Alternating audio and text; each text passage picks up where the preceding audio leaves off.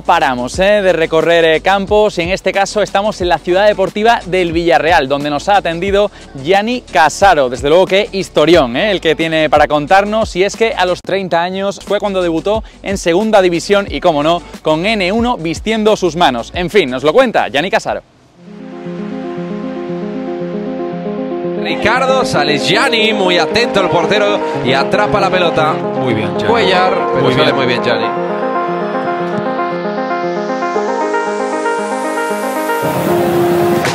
Hola, soy Gianni Cásaro, soy portero de Villarreal y esta es mi historia con N1.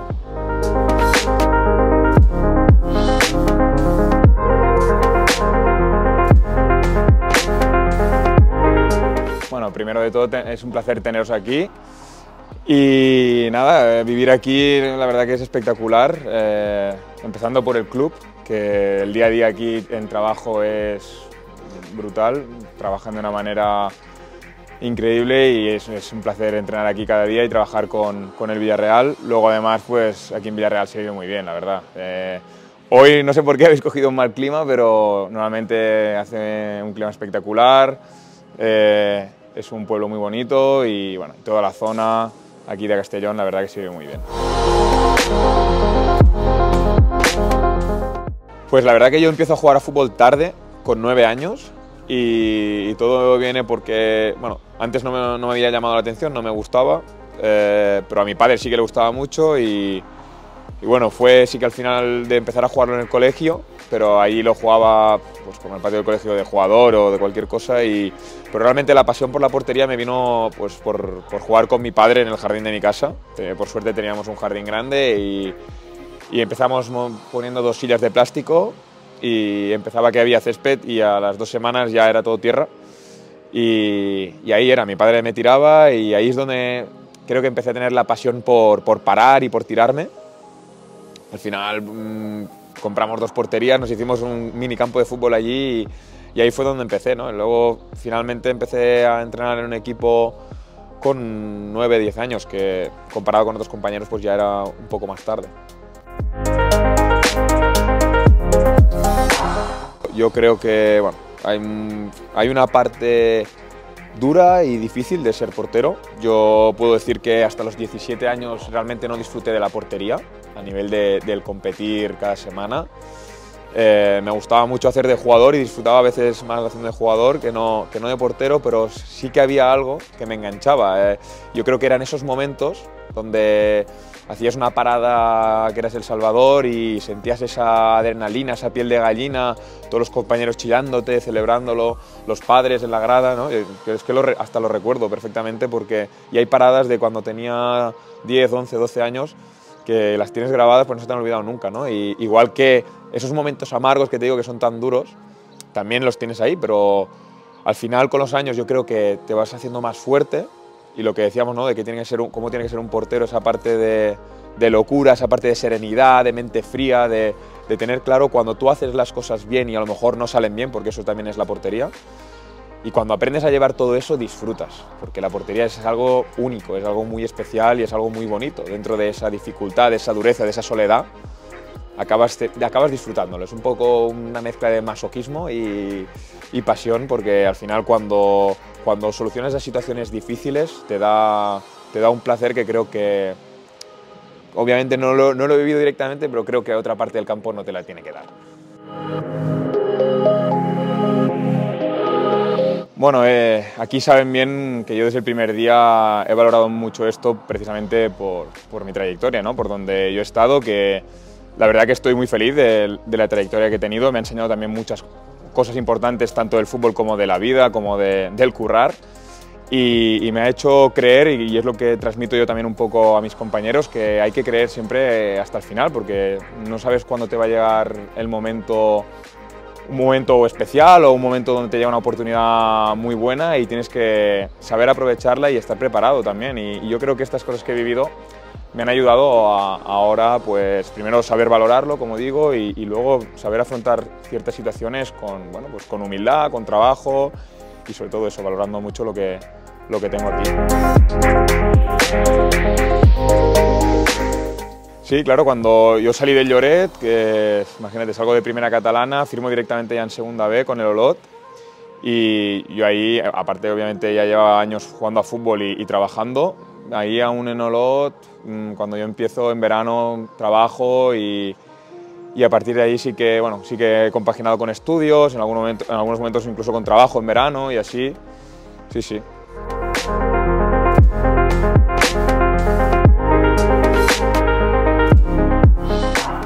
Bueno, como encima he venido una temporada complicada en el Yeclano, donde sufrimos mucho, obviamente ya solo llegar aquí y la manera en la que competíamos, la manera en que se trabajaba, ya todo esto me generó muchísima ilusión. Cuando encima, me acuerdo, la primera vuelta, hacemos una primera vuelta brutal eh, y donde ya pues empiezas a ver que bueno, hay posibilidades de, de quedar incluso campeón.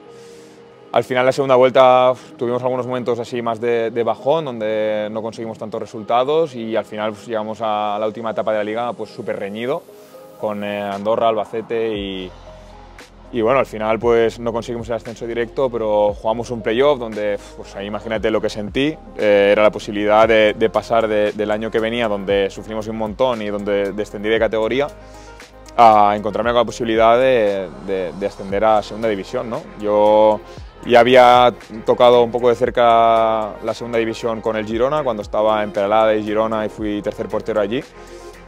Y, tuve la suerte también de vivir el ascenso a primera desde, desde muy cerca, pero, pero no es lo mismo que estar aquí, donde pues, tuve participación y, me sentí obviamente importante dentro del equipo y, y, vivir todo esto, la verdad que fue espectacular. Y ya te digo, sobre todo viniendo del año que venía, yo creo que aún lo valoras más.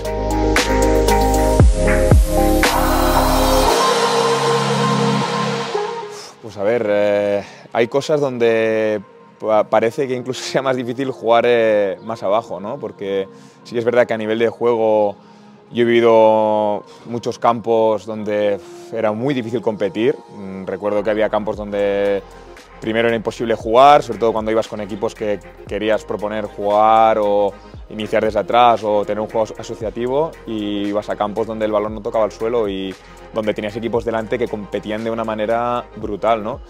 Luego, por otro lado, aquí ves más facilidad en el sentido, campos más grandes, eh, mucha más calidad en el juego, mucha más velocidad, fluidez y, entonces parece como que tenga que ser más fácil jugar en algunos aspectos, pero en otros, pues obviamente el nivel de exigencia, tanto técnico como táctico, como sobre todo competitivo, mental. Eh, aquí esto es fútbol profesional y aquí no, no puedes bajar en ningún momento ni la guardia, ni la intensidad, ni nada. Esto es cada día, desde el, desde el primer día de entrenamiento de la semana al último, estar preparando ya y no te puedes relajar, vamos, ni medio segundo.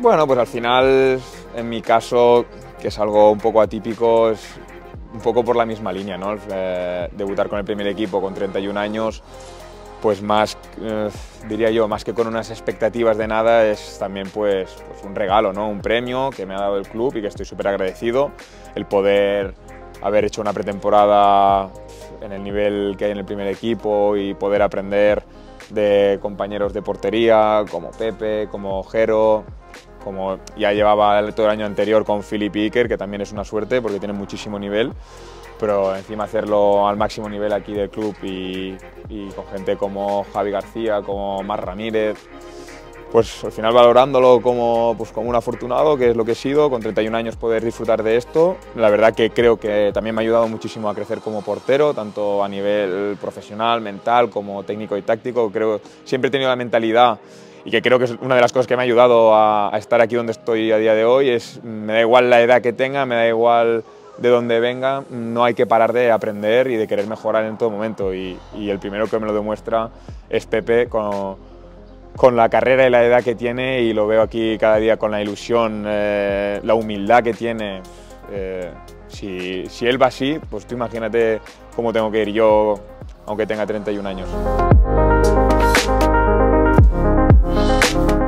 Bueno, Pepe ya no es un consejo, Pepe su manera de ser y su manera de, trabajar y de entender yo creo que el fútbol y el equipo y el vestuario no es conmigo, es con todo el mundo, o sea, está constantemente ayudando, es positivo, te, da consejos, cómo te anima, cómo te aprieta, cómo te ríes con él, o sea, es un no parar de, sumar y así con todo el mundo, así que no, no, puedes quedarte con un consejo cuando constantemente te está ayudando. Claro, eh, nunca he sido de marcarme un, sueño en concreto y precisamente después de lo que he vivido aún te diría que menos me lo puedo plantear, porque si viendo como un año o en un año y poco me ha cambiado tanto el momento de mi carrera, el momento donde estaba, no, ahora mismo no me puedo marcar un, sueño o, incluso un objetivo. Eh, ahora esto me ha hecho creer que, y, esto lo aprendí antes, obviamente eh, el fútbol en, un día te puede cambiar para bien y para mal. Y yo sé que eh, de un momento a otro también puedo puedo estar abajo, pero el fútbol es eso y, me ha pasado en otros momentos. El fútbol te manda para abajo muy rápido. En el momento que, es por el azar, por la suerte o porque tú no has estado lo suficientemente atento. Eh, así que no espero nada en concreto, porque ahora haya ido bien la cosa, sé que en cualquier momento pues puede ir peor y lo que sí que, es mi mentalidad es que seguiré remando y creyendo en que aunque pueda ir en un momento mal, pues seguiremos trabajando como he hecho siempre para que vuelvan estos buenos momentos. Al final esto es un deporte y influyen muchas cosas y no siempre se puede ganar ni siempre puede ser positivo. Entonces hay que estar muy fuerte y constante para, para que los momentos buenos duren lo máximo posible y para que los malos se vayan lo antes posible. Así que veremos dónde me llevará el futuro. Sí, pero a la vez tiene que ser el más cuerdo de todos, o sea, tiene que tener la serenidad combinada con la locura. Tienes que tener las dos cosas. Tienes, te puedes llamar loco, puedes llamar valiente, tiene que ser el más fuerte mentalmente, pero a la vez tiene que ser el más sereno y tiene que tener esa calma y esa cabeza fría para superar ciertas situaciones.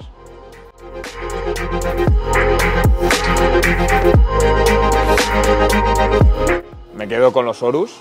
Eh, Supongo porque soy más de guante armado, necesito un guante que me note más, más volumen, más, como más acolchado, más para que observa, absorba el, el impacto del balón.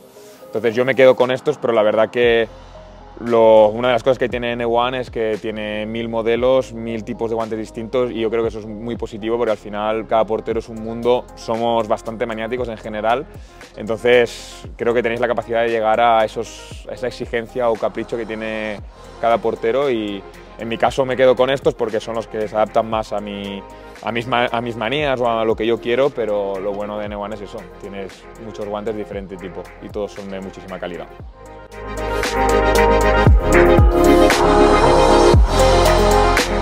Eh, yo creo que con el Ares, que también lo he probado, me ha gustado, es más fino, es más fino, pero sí, también va por ahí también.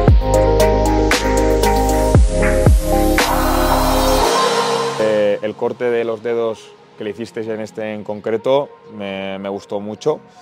Me gusta también que tenga la forma esta ya como un poco de, del blocaje y al final es un guante, como digo, que para mí es muy importante porque en campos, por ejemplo, muy mojados, al final el grip hay momentos donde no te ayuda tanto porque está muy mojado el balón y el campo y creo que es muy importante que la forma del guante y un poco la palma absorba bien el impacto del balón y yo creo que el Horus, y más con esta forma que digo, eh, tiene estas características que hacen que me guste tanto. Bueno, para empezar, eh, para entrenar sí que el guante lo, desgasto más y no, lo cuido tanto en el sentido de, limpiarlo o así, pero sobre todo los que me voy a llevar cada, cada partido y los que uso para competir, sí que primero de todo los preparo con, con, un baño de agua, los dejo secar bien, luego les hago un poco de adaptación en los entrenos, que me lo pongo un rato para calentar y luego me los quito. Y luego sí que esos los, los procuro que si en algún, en algún partido se han manchado de tierra, por mucho que no no la tengan de manera superficial, pero las manchas se notan y es importante tenerlos limpios y, cuidados y, y yo creo que hidratarlos un día o dos antes del partido para que no estén muy, muy resecos también es importante.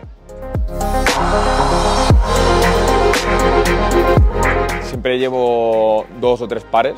Eh, uno o dos pares los llevo con todo el material que los lleva el utillero y luego siempre los, los, que, los que quiero utilizar para jugar los llevo yo conmigo porque prefiero llevarlos conmigo.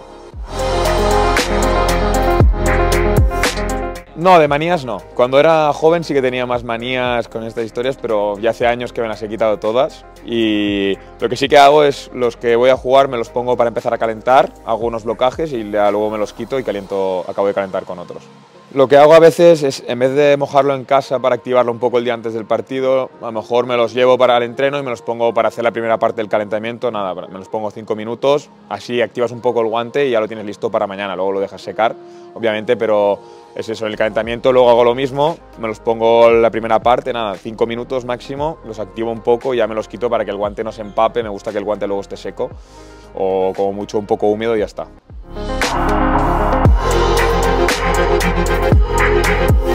Claro, aquí influye mucho si compites, si compites cada semana, eh, si cambias los, por ejemplo, yo para entrenar no le doy tanta importancia a que el guante sea muy nuevo, pero para competir sí. Entonces es eso, varía mucho.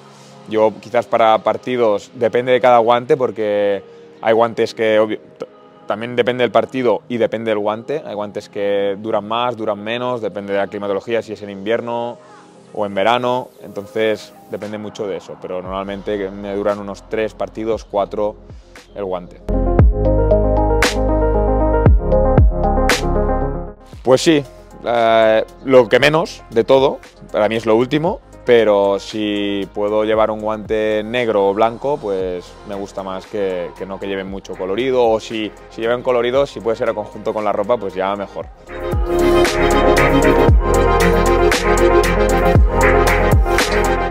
Hombre, eso te voy a decir, gracias a vosotros, al final eso es un detalle que tenéis vosotros y que está muy bien, primero pues para avisar un poco a, la gente que te sigue de que cuándo es el partido, contra quién juegas, hay mucha gente que, se entera o que, o que, incluso pregunta, te pregunta cosas del partido gracias a eso, ¿no? Así que es un detalle, a nosotros los jugadores nos gusta también un poco subir fotos y la previa del partido y creo que es un buen detalle por parte de N1.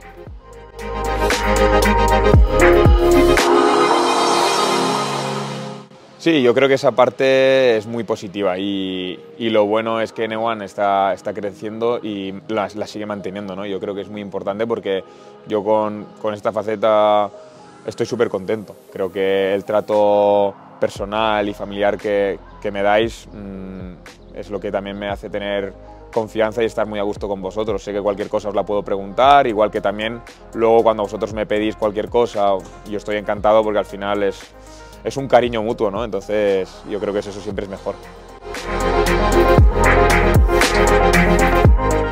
Bueno, a ver, eh, vamos a ser sinceros, si el guante no me gustara, pues no trabajaría tampoco con N1. Entonces lo primero es que los guantes y el material estoy encantado, eso es lo primero. Si luego además, como digo, eh, la relación personal eh, es buena, lo que hace es que aún haya más cariño y por eso además soy el primero que estoy interesado en, colaborar con la marca, en difundirla, en, contar pues, mis experiencias y por eso yo con otros porteros pues, hablo la marca, ofrezco o incluso eh, amigos eh, o familiares, soy el primero que, que les recomiendo, por ejemplo, mi primo pequeñito que es portero y obviamente él compra N1 y yo por, por Navidad le regalo siempre un par de guantes de N1 y o sea que al final soy el primero que quiere colaborar con la marca porque se lo merece.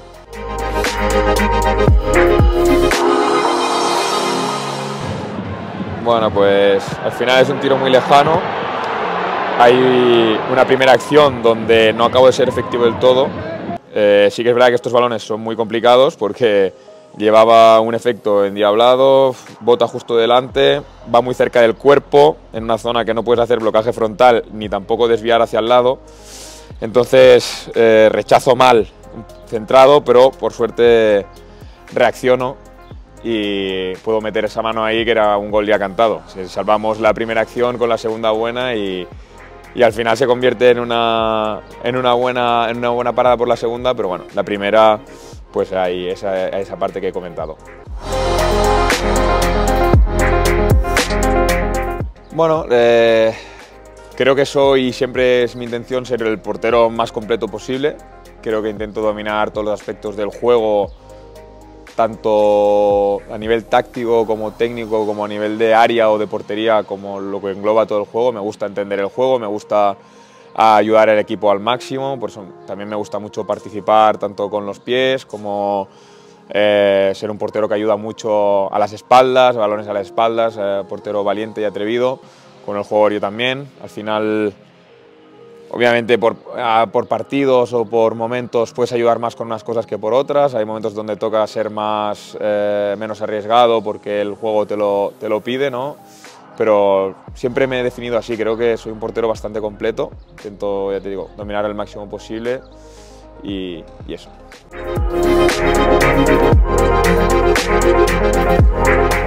Bueno, que creo que es una marca para todo tipo de portero, precisamente por lo que hemos comentado antes. Eh, tiene muchísima variedad, con los modelos y seguro que si además tienes alguna inquietud o alguna cosa como, acabamos de hablar, eh, siempre estáis para ayudar y para escucharnos y seguro que, te podrán ofrecer cualquier, cualquier cosa para ayudarte. Así que es eso, creo que es una marca para cualquier tipo de portero, para que juegue en cualquier tipo de campo, desde categorías eh, más bajas, donde a lo mejor juegas más en campos de césped artificial, como, como fútbol profesional, donde, como vemos, utilizamos y, y nos va de lujo. Thank you.